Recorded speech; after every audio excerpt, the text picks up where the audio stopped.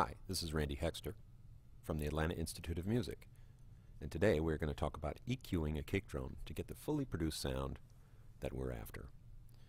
The DAW I'm using today is Digital Performer 7 by Motu, and we have recorded a basic drum set, kick, snare, and overheads as an example.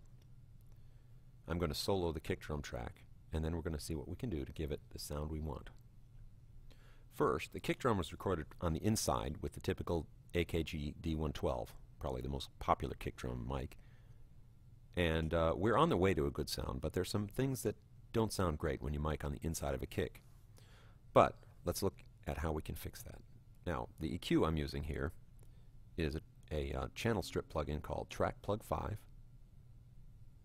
and this is by Wave Arts.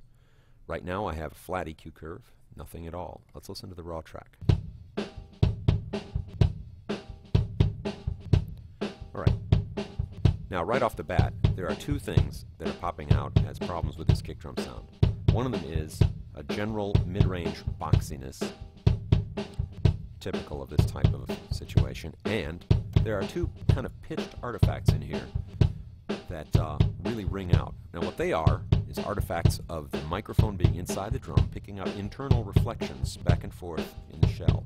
And you can hear them as cowbell-like ringing. Now these sounds typically don't get outside the drum because they pass sideways back and forth across the drum rather than lengthwise from the drum. So let's find them first. Uh, I'm going to create a parametric band and I'm going to set it to about a tenth of an octave and I'm going to dial around until I hear the pitch. Now on the keyboard I can hear it somewhere in the 400 to 450 area.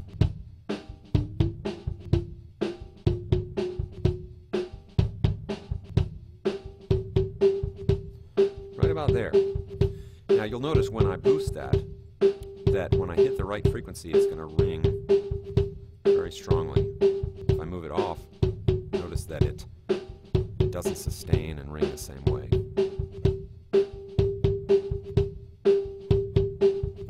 Good right there. Now let's cut that frequency, leaving a notch filter. Now let's listen for the second one. I'm going to add another band,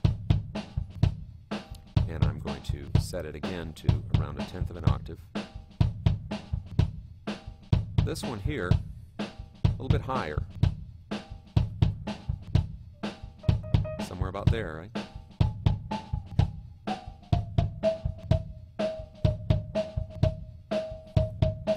Again, I'm going to tune around until I make it ring out.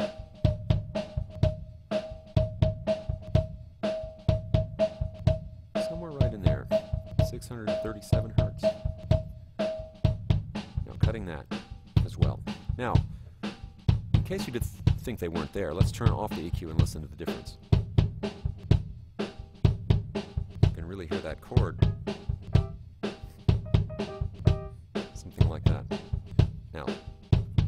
Re-engaging the EQ. Now we're still left with the sound of the mid-range boxiness, so typical of close miking a kick. So let's add another band, but this time we're going to keep it wide. We're going to even set it to about an octave and a half. And we're going to center it around, say, 300 hertz, somewhere in here where we hear this.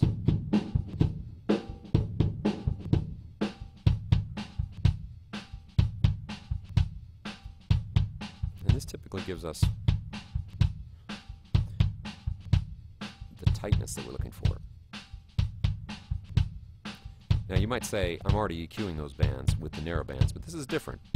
And those narrow bands will still be deeper than this one.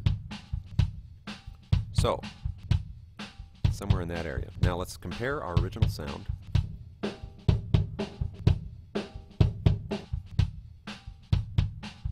Now, occasionally, there's also somewhat of a flappy uh, beater sound. The beater sound people usually want is somewhere in this 5 kilohertz area. But usually below that, in the 1 to 2 kilohertz area, we might end up with a kind of a papery sound. And that might sound a little bit better. Bringing out the natural click of the beater and getting rid of the papery flapping sound at 1.5 kilohertz. Here's our uneq'd sound. And now our EQ'd sound.